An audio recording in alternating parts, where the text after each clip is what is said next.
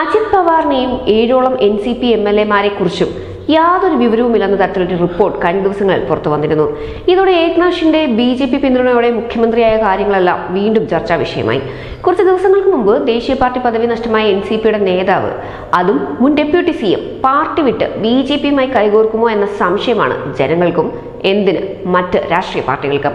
അജിത് പവാറിനും ഭാര്യ സുനേത്ര പവാറിനും ബന്ധമുള്ള ഒരു പഞ്ചസാര മില്ലിന്റെ സ്വത്തുക്കൾ കണ്ടുകെട്ടിയ മഹാരാഷ്ട്ര സ്റ്റേറ്റ് കോപ്പറേറ്റീവ് ബാങ്ക് കുംഭകോണ കേസിൽ എൻഫോഴ്സ്മെന്റ് ഡയറക്ടറേറ്റ് കുറ്റപത്രം സമർപ്പിച്ചതോടെയാണ് ഊഹാപോഹങ്ങൾ കൂടുതൽ ശക്തമായത്.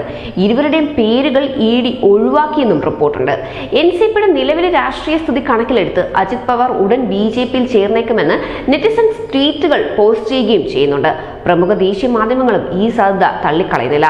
അജിത് പവാർ ബി ജെ പിയിലേക്ക് എത്തുമെന്ന തരത്തിലാണ് വാർത്തകൾ ദേശീയ മാധ്യമങ്ങളിലും വരുന്നത്.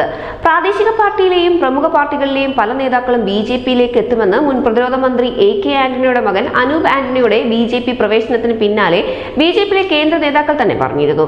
മഹാരാഷ്ട്ര ബി ജെ പി സംസ്ഥാന അധ്യക്ഷൻ ചന്ദ്രശേഖർ ഭവാൻകുലെ ഇക്കാര്യം പറഞ്ഞതോടെ ഉദ്ധവിന്റെയും കോൺഗ്രസിന്റെയും ചങ്കെടുപ്പും കൂടിയിരുന്നു. രാജ് താക്കറുടെ പാർട്ടി എം എൻ എസും ബി ജെ പിയും ഷിൻഡയുടെ ശിവസേനയും ഒന്നിച്ചതോടെ തങ്ങൾ ദുർബലരായി തുടങ്ങിയെന്ന് ഉദ്ധവിനും മറ്റ് പ്രതിപക്ഷ പാർട്ടികൾക്കും മനസ്സിലായി തുടങ്ങിയിരുന്നു. പിന്നീട് എൻ സി പി അധ്യക്ഷൻ ശരത് പവാർ സ്വീകരിച്ച നിലപാടുകളും നടത്തിയ പ്രസ്താവനകളുമെല്ലാം പ്രതിപക്ഷ പാർട്ടികളെ ഞെട്ടിച്ചിരുന്നു. അദാനി വിഷയത്തിലും പ്രധാനമന്ത്രിയുടെ ബിരുദ വിവാദത്തിലും രാഹുൽ സവർക്കറെ പരിഹസിച്ചതിലുമെല്ലാം എൻ സി പി സ്വീകരിച്ച നിലപാട് മറ്റ് പ്രതിപക്ഷ പാർട്ടികൾക്ക് അപ്രതീക്ഷിതമായിരുന്നു. ഇപ്പോൾ ദേശീയ പാർട്ടി പദവി കൂടി നഷ്ടമായ എൻ സി പി നിലനിൽപ്പിനായി എന്ത് തീരുമാനമെടുക്കുമെന്നും മറ്റ് പാർട്ടികൾ നിരീക്ഷിക്കുന്നുണ്ട്. നിരവധി പ്രതിപക്ഷ പാർട്ടി നേതാക്കൾ ബി ജെ പിയിലേക്ക് എത്തുമെന്ന മഹാരാഷ്ട്ര ബി ജെ പി അധ്യക്ഷന്റെ വാക്കുകൾ സംസ്ഥാനത്തെ പ്രതിപക്ഷ ഐക്യത്തെ തന്നെ ബാധിക്കുന്നതാണ്. ബജറ്റ് സെഷന് മുന്നോടിയായി നേതാക്കൾ പാർട്ടിയിൽ എത്തുമെന്നും സംസ്ഥാന അധ്യക്ഷൻ പറഞ്ഞതിന് പിന്നാലെ ബി ജെ പി നിരവധി പ്രതിപക്ഷ എം എൽ എമാരുമായി ചർച്ച നടത്തുന്നുണ്ടെന്ന് ബി ജെ പിയുടെ മുതിർന്ന നേതാവും വ്യക്തമാക്കിയിരുന്നു. അതിനിടെയാണ് അജിത് പവാർ ബി ജെ പിയിലേക്ക് എത്തുമെന്ന റിപ്പോർട്ടും പുറത്തുവരുന്നത്. News desk news India Malayalam.